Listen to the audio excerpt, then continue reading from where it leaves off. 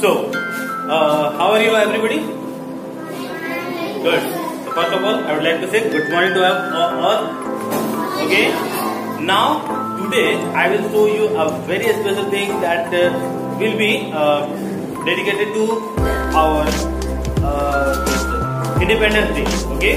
You all know that after two days Independence Day is coming. Yes or no? So now I am going to make something that will be uh, dedicated to the Independence Day.